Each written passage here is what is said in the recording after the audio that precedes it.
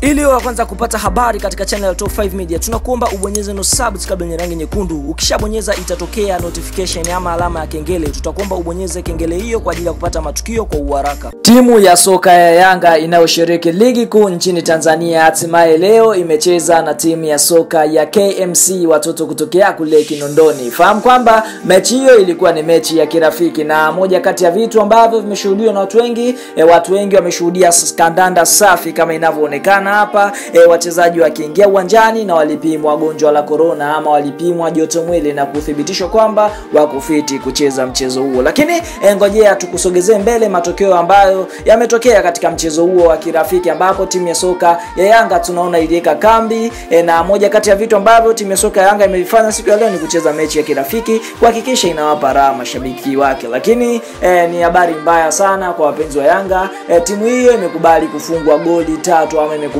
goli tatu bila kutoka kwa timu ya KMC.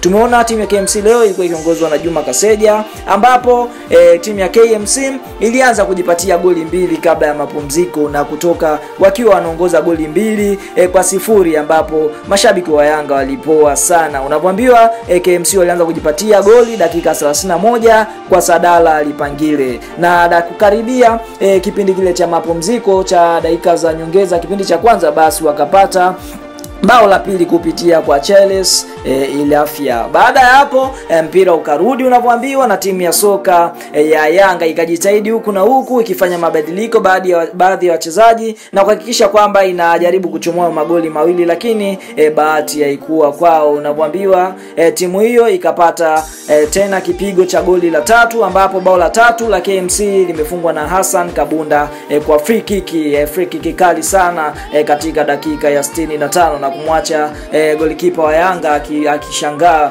e, goli hilo limeingiaje kuelewa. Unavyoambiwa e, KMC kwa sasa wamekuwa tishio baada ya e, ugonjwa wa corona, tunaona wamerudi kivingine. Ikiwa ni mchezo wao kirafiki wa kwanza, basi wameweza kupata e, ushindi mnono wa goli tatu kwa sifuri dhidi ya timu kubwa ya Yanga. Unavyoambiwa kikosi cha Yanga cha leo kilichoanza, alianza Metacha Mnata, Juma Abduli, Jafari Mohamed, Endo Vincent Dante Chikupe, Kelvin Ondani. E, katika upande wa viungo basi kulikuwa Saidi Juma Makapu, Haruna Nionzima na Faisali. Safu ya ushambuliaji kulikuwa na Ditram Nchimbi, Tariki Seifu na Balama Mapinduzi, lakini e, bahati haikuwa kwao kwa timu ya soka ya Yanga na kukubali kipigo e, cha goli tatu kwa sifuri kutoka kwa KMC. Lakini e, kuna kitu ambacho kimeshangaza sana kama inavyoonekana hapa kwenye video yetu, ni shabiki e, wa timu ya soka ya Simba akiwa amevalia uzi wa Simba na yeye alikuwa kaungana na mashabiki wa Yanga e, wakishangilia kabumbu hilo safi la KMC. Kama inavyoonekana hapa, ni shabiki wa Simba amevaa jezi ya Simba, lakini alikuwa anashabikia e, mechi katika upande wa Yanga. ni mambo hayo sasa, tujui kama ni shabiki kweli ama ni mtu wa Yanga aliamua kuvaa jezi hiyo, lakini